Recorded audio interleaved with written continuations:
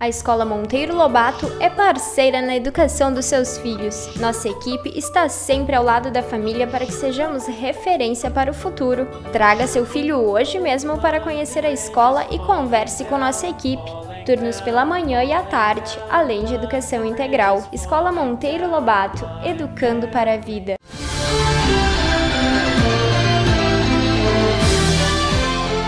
Como é que surgiu uh, essa possibilidade de doação de veículos uh, que não estavam mais sendo utilizados pela Emater para essas doações, para, essas, para esses, como a realizada aqui com os bombeiros voluntários através da entidade regional deles? Uh, geralmente é, vem, vem recursos federais e a gente sempre repõe a frota é, não é anualmente, mas sempre que tem um, temos orçamento, a gente repõe a frota e retira do campo os carros mais, mais usados, né, com mais tempo de uso.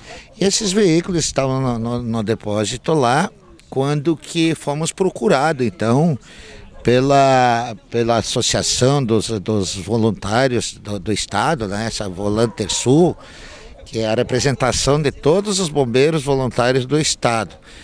Eles nos procuraram lá e fizeram, explicaram para a, direção que sensibilizada com isso entendeu que a proposta era boa, em vez de nós segurarmos esses veículos lá, deixaram, deixarmos ao tempo, ao relento lá, esses veículos poderiam ser eles reformados com a, pela comunidade, né, já que é um trabalho voluntário e que o custo seria diluído uh, dentro dos municípios, né?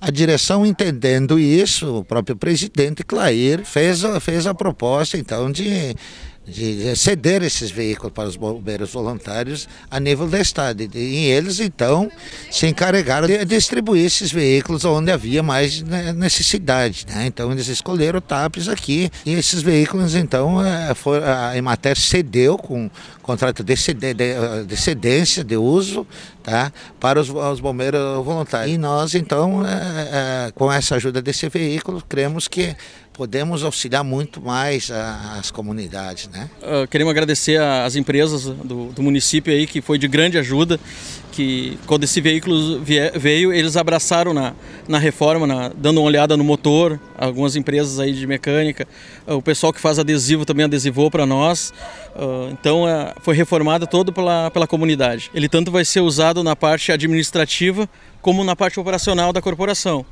Nós já estávamos, estávamos com um veículo que já estamos há bastante tempo, que também é um Gol, mas ele já está em uso, então está bastante desgastado.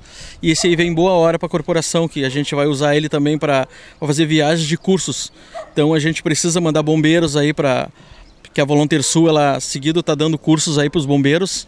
Então esse veículo assim, vai ser bem utilizado aí na locomoção dos bombeiros para capacitação da, da equipe.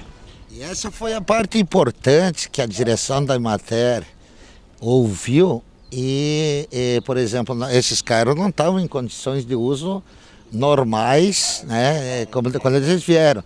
Mas como existe a possibilidade que esse trabalho voluntário de vocês, e aqui é, é, nossos parabéns pela, pela vontade, pelo voluntariado de vocês, como esses veículos não estão em condições e existia a possibilidade colocada pelo pessoal da Voluntur, eles, eles é para ajeitar o veículo, que a comunidade se disponibilizaria, tanto, tanto aqui em Tapes como nos demais municípios, eu não tenho o um número exato de quantos municípios, mas foram mais de 40 municípios beneficiados com esses veículos. Existia a possibilidade da reforma pela comunidade e isso é, todo mundo ganha com isso, né? E nós estamos realizados também em poder auxiliar vocês, né? E tenho certeza que quem vai ganhar com isso é a comunidade e nós trabalhamos pelo, pelo bem da, da, da comunidade. Né? Parabéns, Tapos, parabéns para vocês.